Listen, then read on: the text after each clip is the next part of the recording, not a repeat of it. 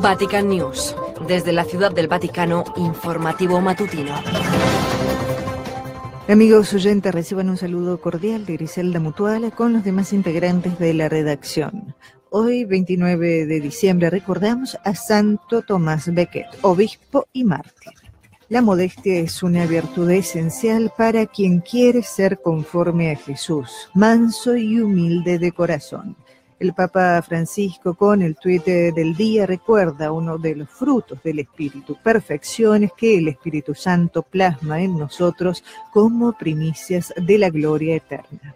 No perder la capacidad de, asombro y hacer una teología de rodillas como los grandes padres que pensaban, rezaban, adoraban y alababan. Son algunas de las líneas dictadas por el Santo Padre en su discurso a miembros de la Asociación Teológica Italiana no a los tentativos de instrumentalizar la religión para fines políticos. El cardenal Jean-Louis Torán se refiere a la cuestión de Jerusalén.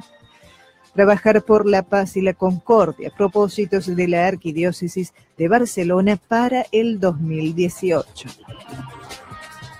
Buena sintonía.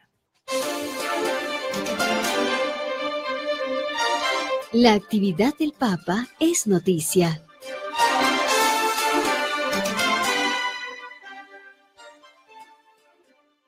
Teólogos al servicio de la humanidad y de la Iglesia mostrando a Cristo.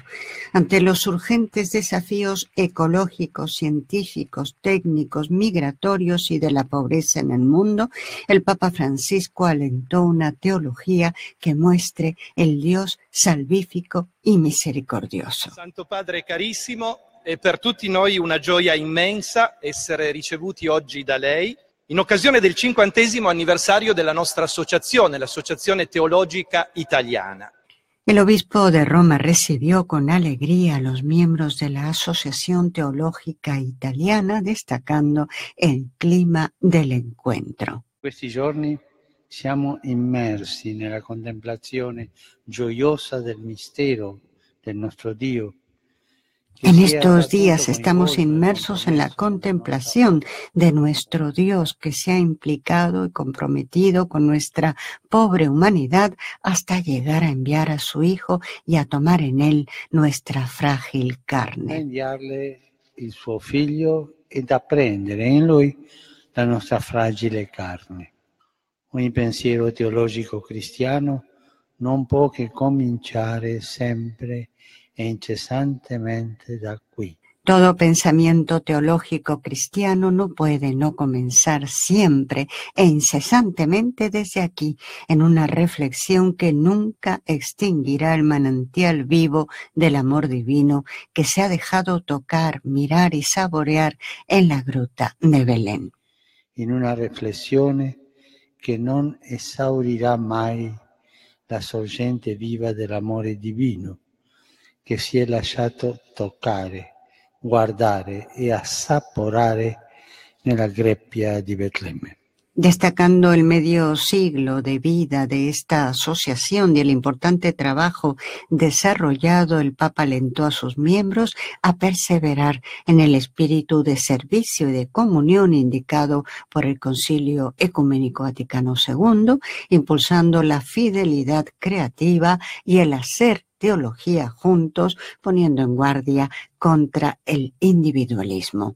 Y con la importante y apremiante actualidad del ministerio teológico en el anhelo y perspectiva de una iglesia en salida misionera, el sucesor de Pedro hizo hincapié en la importancia de la tarea de los teólogos para que la Iglesia pueda seguir anunciando el corazón del Evangelio a las mujeres y a los hombres de hoy en una cultura profundamente cambiada. Se necesita una teología que ayude a todos los cristianos a anunciar y mostrar sobre todo el rostro salvífico de Dios, el Dios misericordioso, en especial ante algunos desafíos inéditos que involucran hoy a la humanidad, como el de la crisis ecológica, el desarrollo de las neurociencias o de las técnicas que pueden modificar al hombre, como el desafío de las cada vez más grandes desigualdades sociales o de las migraciones de pueblos enteros,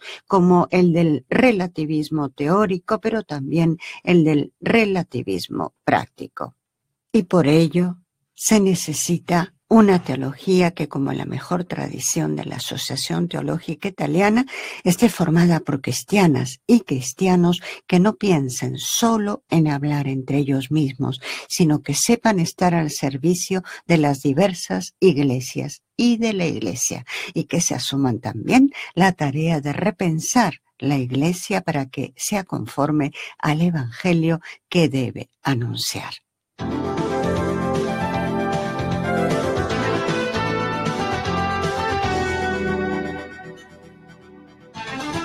El diálogo como camino que siempre es posible recorrer, razón por la cual debe ser promovido a pesar de todo. Sí, porque el cristiano está llamado a dar un testimonio coherente también en los momentos de dificultad y sobre todo en un mundo en el que cada vez más la violencia es perpetrada en nombre de Dios o de la religión. Lo afirma el cardenal Jean-Louis Thoran, presidente del Consejo Pontificio para el Diálogo Interreligioso, al trazar un balance de las actividades desarrolladas en el dicasterio que preside a lo largo del año que concluye. Precisamente durante los días en los que los reflectores de los medios de comunicación vuelven a encenderse sobre la cuestión de Jerusalén, en una entrevista al periódico de la Santa Sede del Observatorio Romano, el purpurado reafirma el no contra todo intento de instrumentalizar la religión con fines políticos. Ante la pregunta de si aún hay esperanzas de una paz estable en Oriente Medio,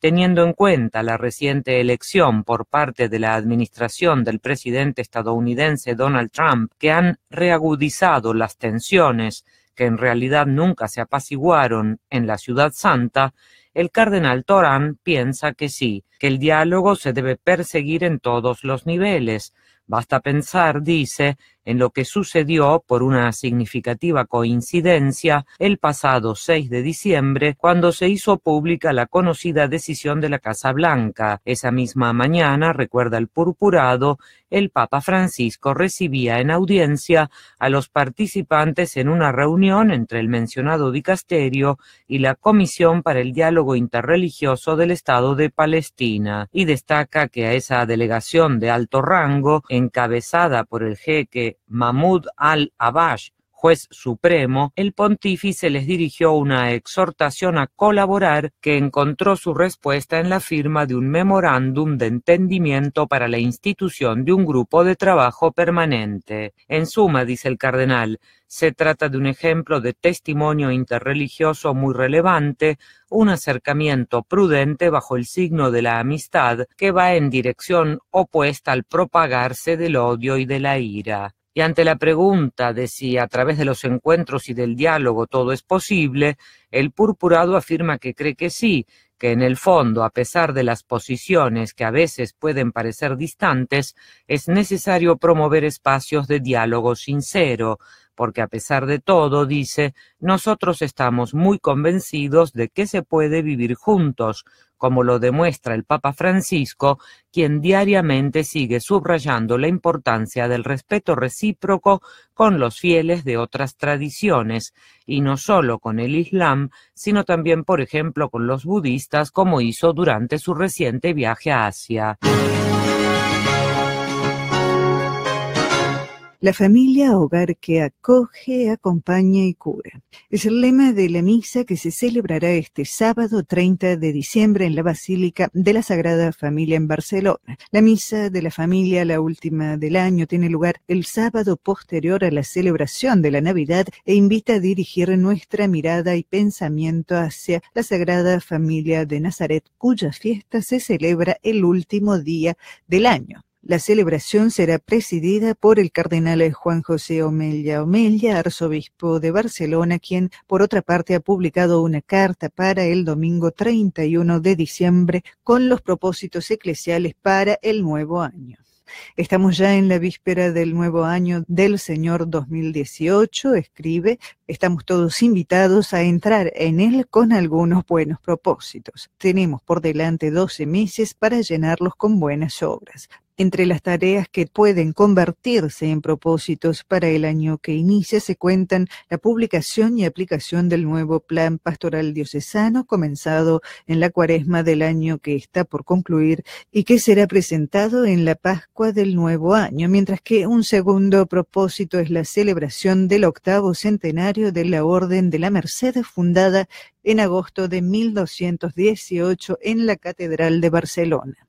A este respecto, el cardenal Omeya hace presente que la conmemoración de la obra del laico San Pedro Nolasco, fundador de la orden dedicada a la redención de los cautivos, hace pensar en las necesidades sociales y en las respuestas que debemos dar como iglesia en el presente. Esta conmemoración es también un reto y un compromiso, añade, y en relación a este último expresa el de servir a nuestro pueblo y contribuir a su cohesión social, siguiendo una línea que ha sido una constante en la acción pastoral diocesana. Por último, el tercer propósito citado por el arzobispo Mella es el de trabajar por la paz y por la concordia en el país, en las familias, en las propias vidas y en todo el mundo.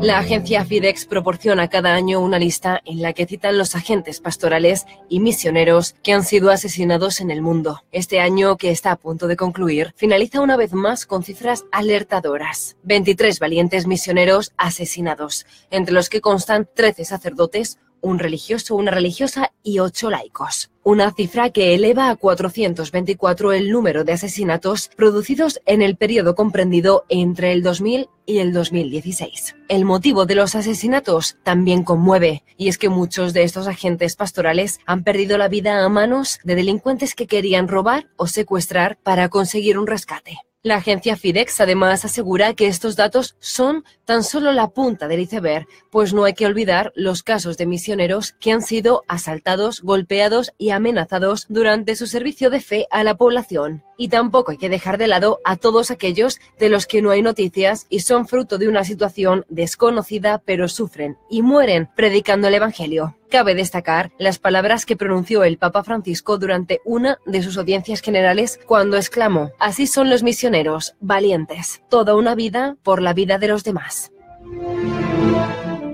El Santo Padre Francisco ha nombrado obispo auxiliar de Madrid al reverendo Padre Jesús Vidal Chamorro, del clero de Madrid, hasta ahora rector del Seminario Mayor de la misma arquidiócesis y párroco de la parroquia Santa María de la Cabeza, asignándole la sede titular de Elecla. Asimismo, ha nombrado obispo auxiliar también de Madrid al reverendo José Cobocano, del mismo clero, hasta ahora vicario episcopal de la misma arquidiócesis, asignándole la sede titular de Beatia. Y por último, ha nombrado obispo auxiliar también de Madrid el reverendo Santos Montoya Torres, hasta ahora párroco de la parroquia Beata María Ana de Jesús, asignándole la sede titular de Horta. El mensaje de Jesús es incómodo y nos incomoda, expresó el Papa.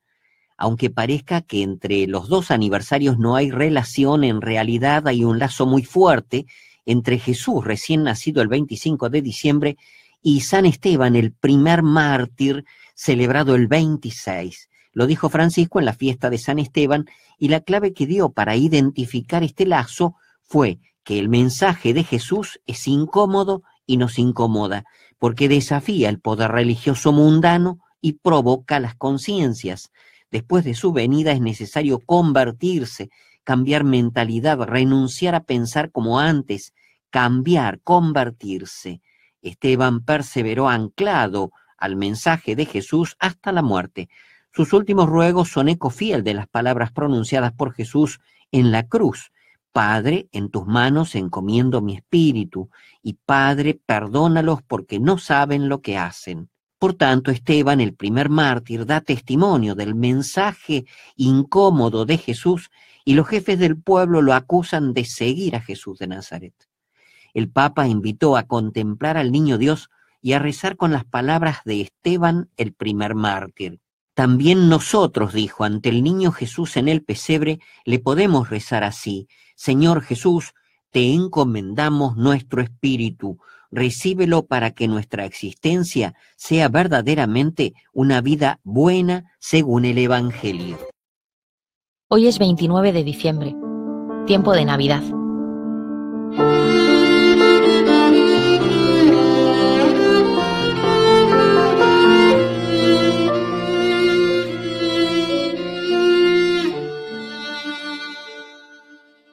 En este tiempo de Navidad, deseo acercarme a ti, Señor encarnado. Quiero contemplarte en la fragilidad, la vitalidad y ternura de un niño. Me preparo para contemplar parte de tu vida, con la confianza de poder encontrar, una vez más, una palabra, unas actitudes que me iluminen y me guíen. Pienso por un instante en todos los que, como María, José o Simeón, miran desde el amor profundo y sincero a este Dios niño. Te amaré viviendo entre sombras, sintiendo las luces, igual te amaré.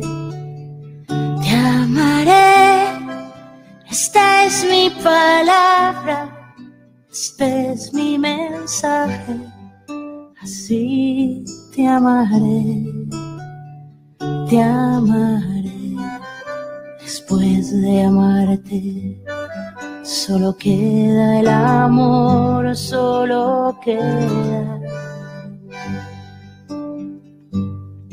Te amaré, estando escondida, estando visible, igual te amaré te amaré entre la tormenta, entre lo apacible, también te amaré, te amaré, estando a ciegas, teniendo visiones, también te amaré. Durada,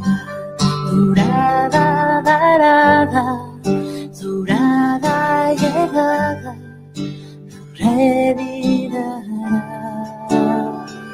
날아가 우리들 돌아가 돌아던 이래다 나라라라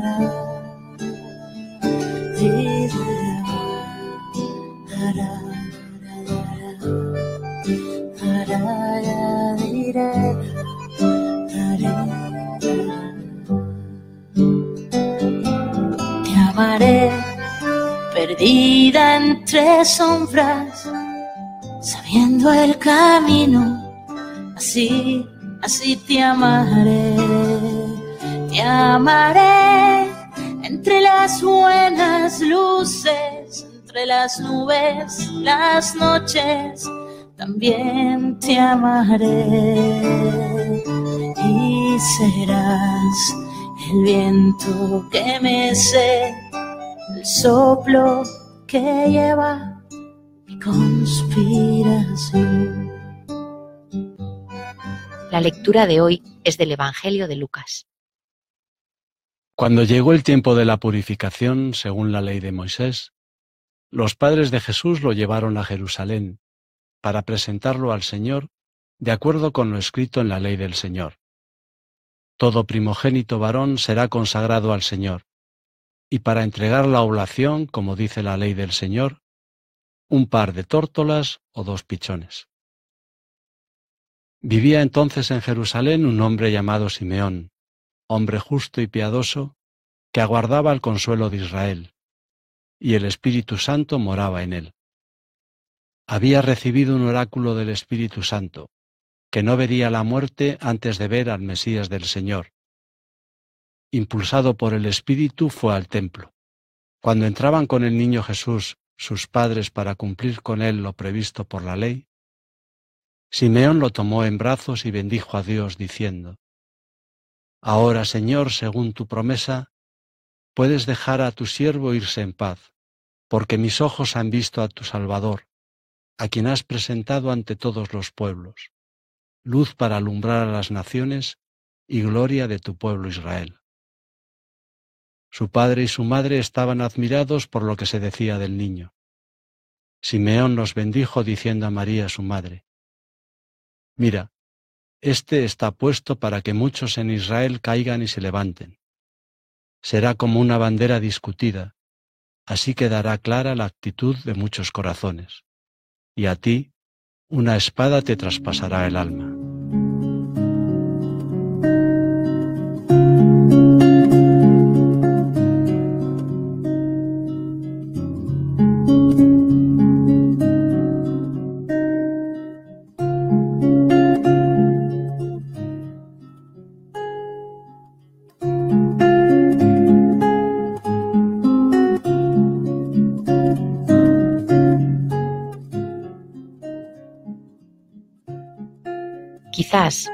Al igual que Simeón, yo soy capaz de reconocerte en lo que vivo cada día, en lo cotidiano de mi trabajo, mis horarios, mis compromisos, mis búsquedas. Así es tu encarnación. No se salta las leyes de la vida. Estás presente en lo que vivo. Ojalá, como Simeón, yo te reconozca desde la sencillez, contemplando a la joven familia de Nazaret que acude a cumplir la ley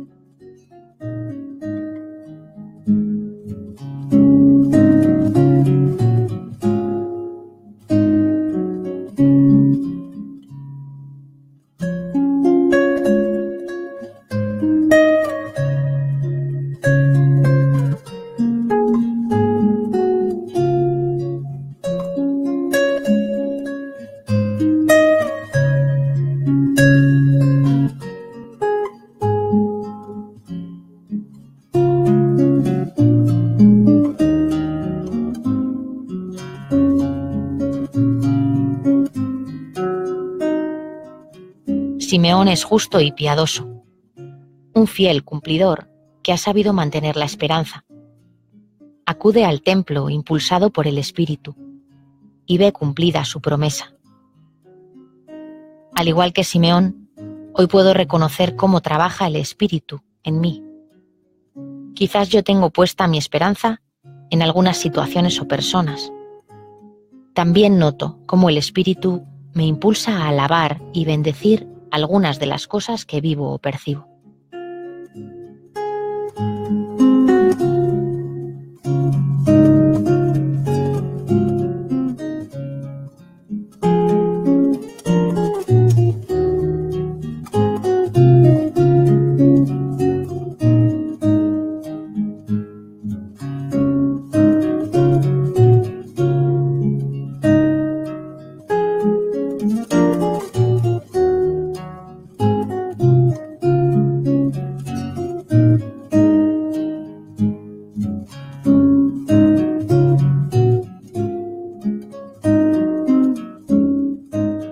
Simeón te reconoció, Señor, y además fue consciente de tu misión, ser luz para las naciones.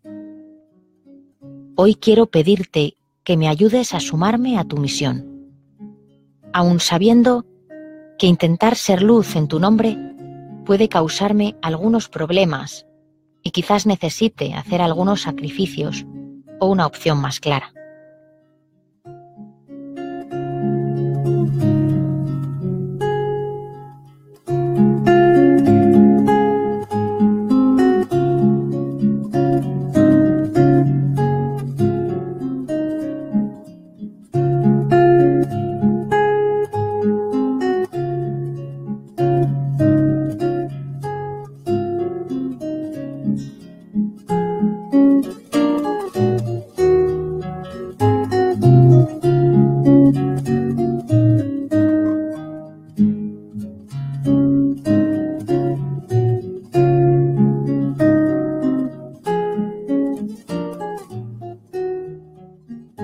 Escuchando una vez más este relato, puedo imaginarme delante de ese niño y dejo que surjan en mí palabras y sentimientos que me gustaría decirte, Señor.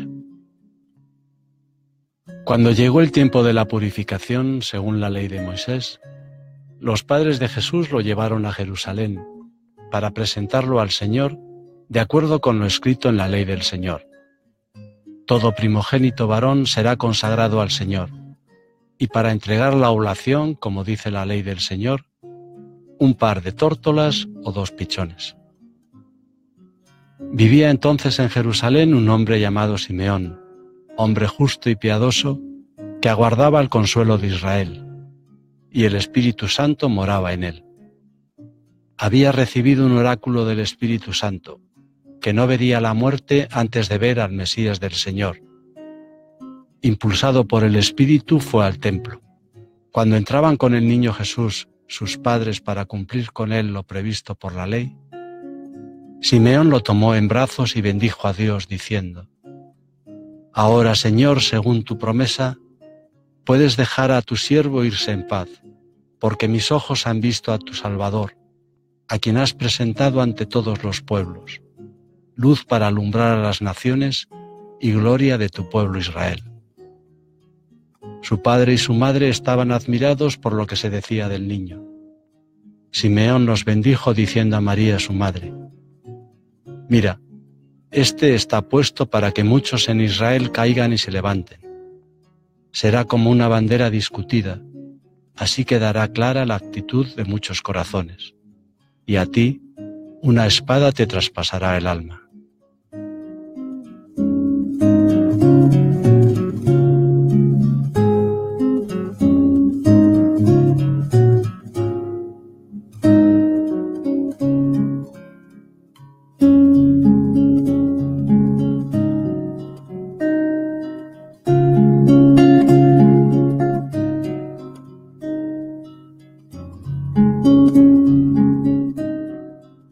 Así se nos va la vida, entre la luz y la espada, entre instantes de promesa y momentos de batalla.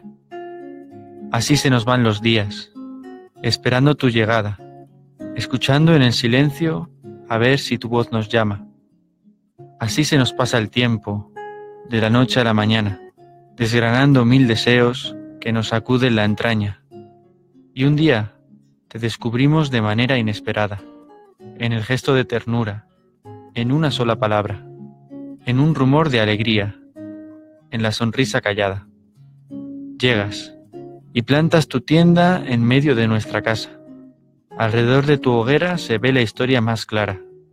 Se reconcilia el presente. Se disipa la amenaza de un futuro sin justicia, de una libertad truncada. Y nos haces mensajeros de tu paz reconquistada, del amor a cuerpo entero de la fe resucitada. Y así se nos va la vida, entre la luz y la espada, entre instantes de promesa y momentos de batalla.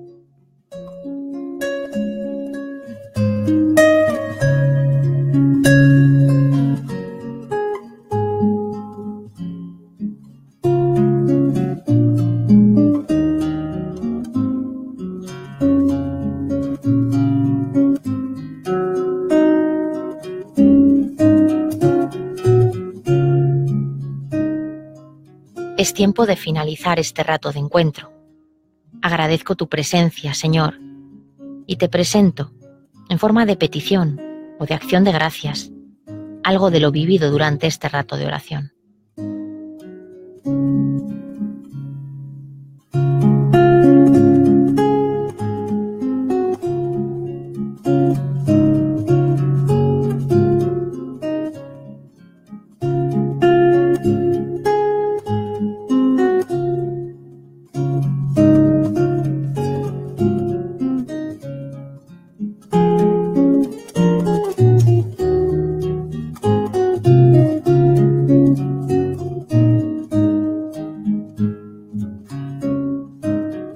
Nuestro, que estás en el cielo, santificado sea tu nombre, venga a nosotros tu reino, hágase tu voluntad, en la tierra como en el cielo.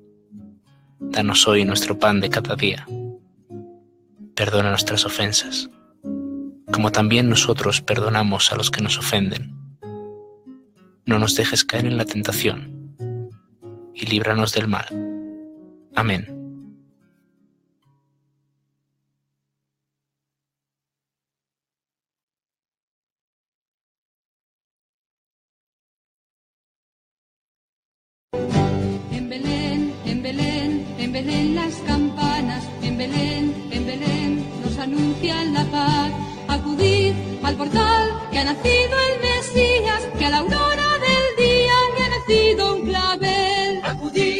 Mis hermanos, hoy viernes de la semana de Navidad, escuchemos el Evangelio de San Lucas en el capítulo 2, versos del 22 al 35.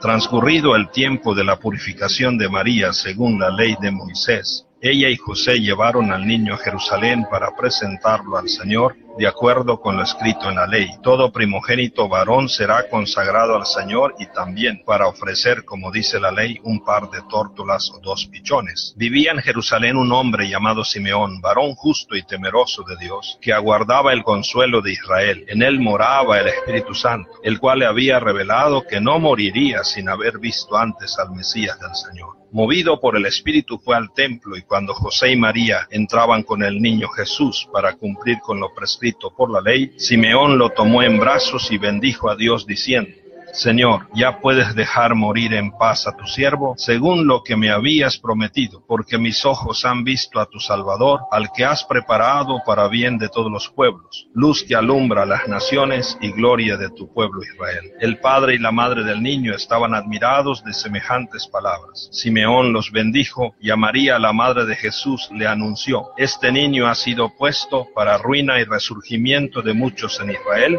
como signo que provocará contradicción para que queden al descubierto los pensamientos de todos los corazones, y a ti una espada te atravesará el alma. Palabra del Señor. Mis queridos hermanos, hoy nuevamente, en la persona de Simeón, somos invitados a abrir nuestros brazos y hacer de nuestro corazón un templo, un pesebre, donde es presentado el Señor Jesús, donde entra y vive el Señor Jesús. Nos llama la atención la actitud del anciano Simeón. Aprendamos de él. Él todos los días iba al templo y su ilusión, su alegría era contemplar al Salvador. Y por esto imaginémonos a este anciano cuando tiene en sus brazos a Jesús. También nosotros tomemos a Jesús en nuestros brazos, metámoslo en nuestro corazón. Entonces Simeón lo tomó en brazos y bendijo a Dios. Entonces que también nosotros vivamos en esa paz, en esa paz que nos da el Señor. Nadie de nosotros debe morir sin haber aceptado al Señor que es la paz. Por eso Simón dice, ya puedes dejar morir en paz a tu siervo, según lo que me habías prometido. ¿Por qué? Porque sus ojos han visto al Salvador. Es decir, lo mejor que puede acontecer en nuestras vidas es ver, aceptar y seguir a Jesús. Gocemos al Señor como el anciano Simeón, tengamos en nuestros brazos y en nuestro corazón al niño que ha nacido. Un abrazo, que Dios les bendiga.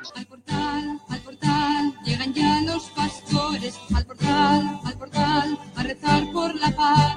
Navidad, Navidad, es la noche más bella, con el luz de una estrella mensajera de paz. Navidad, Navidad, es la noche más bella, con el luz de Teólogos al servicio de la humanidad y de la Iglesia mostrando a Cristo.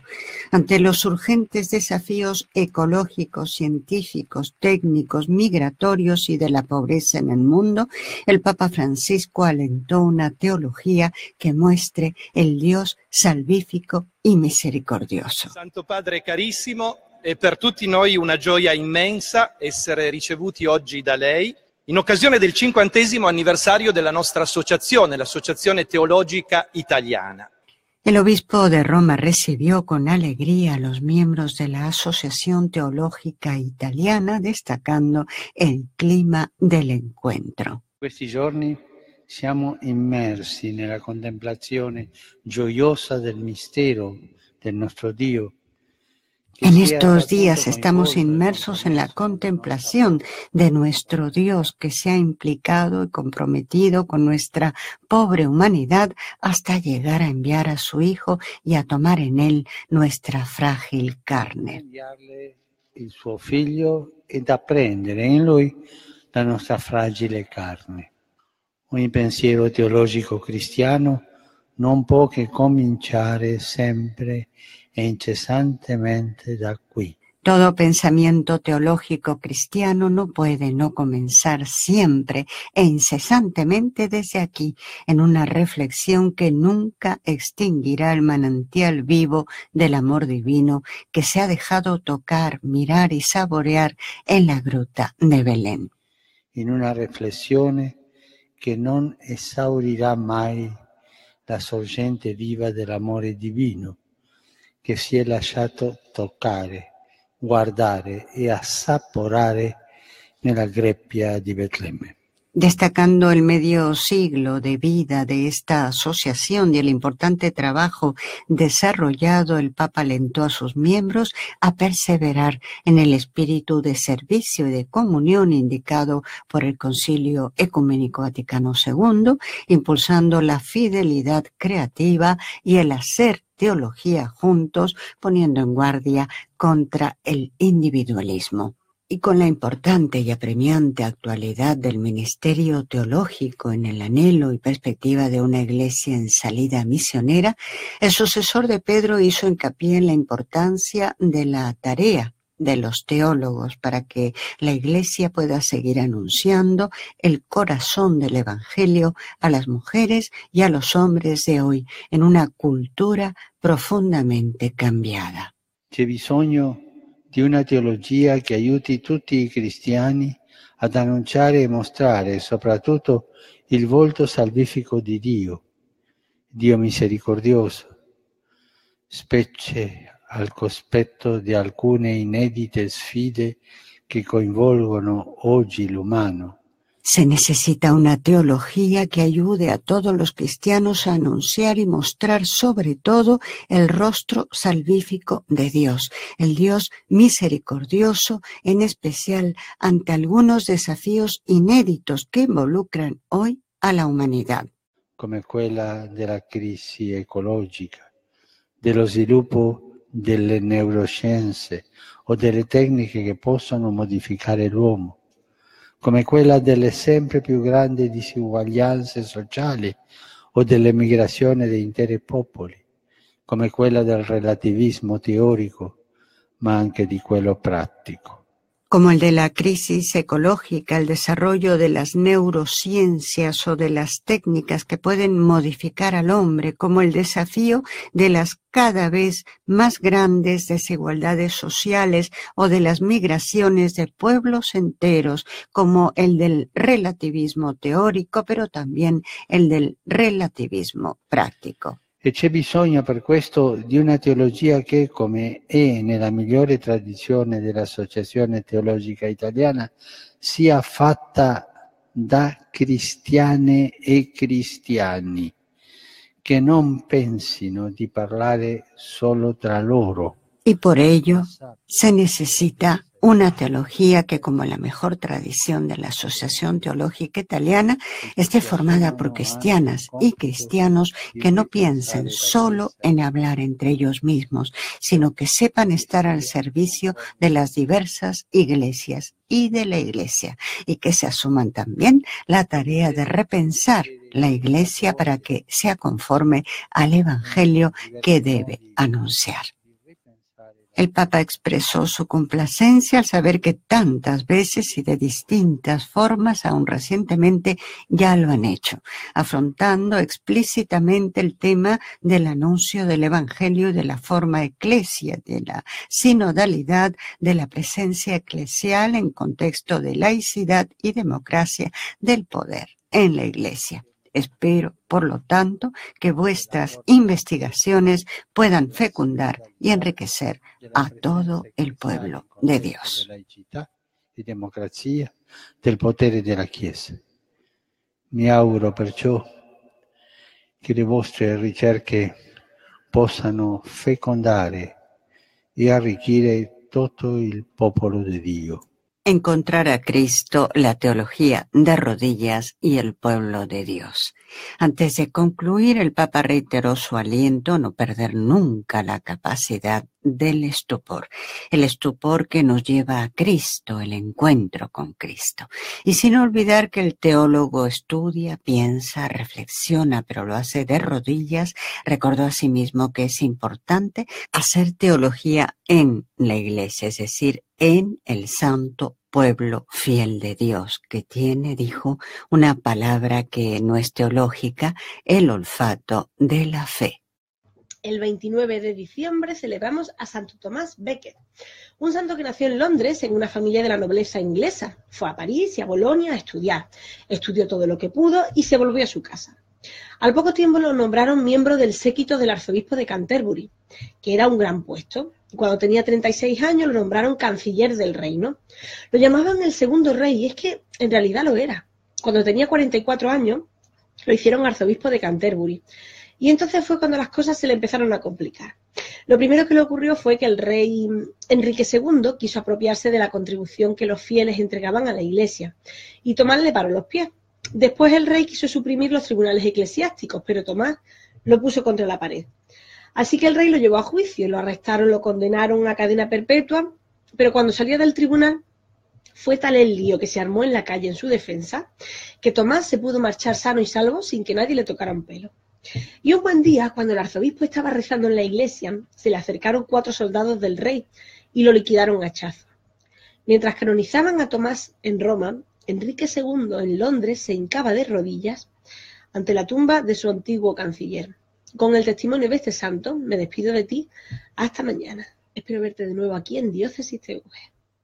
El diálogo como camino que siempre es posible recorrer, razón por la cual debe ser promovido a pesar de todo. Sí, porque el cristiano está llamado a dar un testimonio coherente también en los momentos de dificultad y sobre todo en un mundo en el que cada vez más la violencia es perpetrada en nombre de Dios o de la religión. Lo afirma el cardenal Jean-Louis Thoran, presidente del Consejo Pontificio para el Diálogo Interreligioso, al trazar un balance de las actividades desarrolladas en el dicasterio que preside a lo largo del año que concluye. Precisamente durante los días en los que los reflectores de los medios de comunicación vuelven a encenderse sobre la cuestión de Jerusalén, en una entrevista al periódico de la Santa Sede, el Observatorio Romano, el purpurado reafirma el no contra todo intento de instrumentalizar la religión con fines políticos. Ante la pregunta de si aún hay esperanzas de una paz estable en Oriente Medio, teniendo en cuenta la reciente elección por parte de la administración del presidente estadounidense Donald Trump, que han reagudizado las tensiones que en realidad nunca se apaciguaron en la Ciudad Santa, el cardenal Torán piensa que sí, que el diálogo se debe perseguir en todos los niveles, Basta pensar, dice, en lo que sucedió por una significativa coincidencia el pasado 6 de diciembre cuando se hizo pública la conocida decisión de la Casa Blanca. Esa misma mañana, recuerda el purpurado, el Papa Francisco recibía en audiencia a los participantes en una reunión entre el mencionado dicasterio y la Comisión para el Diálogo Interreligioso del Estado de Palestina y destaca que a esa delegación de alto rango, encabezada por el jeque Mahmoud al-Abash, supremo, el pontífice les dirigió una exhortación a colaborar que encontró su respuesta en la firma de un memorándum de entendimiento para la institución de un grupo de trabajo permanente. En suma, dice el cardenal, se trata de un ejemplo de testimonio interreligioso muy relevante, un acercamiento prudente bajo el signo de la amistad que va en dirección opuesta al propagarse del odio y de la ira. Y ante la pregunta de si a través de los encuentros y del diálogo todo es posible, el purpurado afirma que cree que sí, que en el fondo, a pesar de las posiciones que a veces pueden parecer distantes, es necesario promover espacios de diálogo sincero, porque a pesar de todo, dice, nosotros estamos muy convencidos de que se puede vivir juntos, como lo demuestra el Papa Francisco, quien diariamente sigue subrayando la importancia del respeto recíproco con los fieles de otras tradiciones, y no solo con el Islam, sino también, por ejemplo, con los budistas, como hizo durante su reciente viaje a Asia. Por último, el purpurado resume en una imagen símbolo todo el trabajo realizado en el Consejo Pontificio para el Diálogo Interreligioso, aludiendo a la fotografía que publicó precisamente el periódico de la Santa Sede en primera página con ocasión de la audiencia pontificia del pasado 7 de noviembre al gran imán de Al-Azhar, Ahmed Muhammad al-Tajib, al término de aquel encuentro, el Papa Francisco había invitado al jeque a almorzar en Santa Marta, hacia donde ambos se dirigieron a pie, conversando durante el breve trayecto. Por lo tanto, agrega el cardenal Torán, los esfuerzos del Papa y los nuestros se concretaron en esa fructuosa visita del líder religioso del Islam sunita que se llevó a cabo en un clima de simpática familiaridad, y todo esto demuestra la importancia para nosotros los cristianos de permanecer asidos con coherencia a nuestra fe en las dificultades de un mundo tan pluralista y sin ceder al desaliento para una mejor comprensión de los desafíos característicos de una realidad multicultural y para testimoniar que es posible convivir con la convicción de que el amor es la única fuerza capaz de hacer que el mundo sea un lugar mejor para todos. María Fernanda Bernasconi, Ciudad del Vaticano. Termina así nuestro informativo en lengua española. Gracias una vez más por haber estado con nosotros. Alabado sea Jesucristo.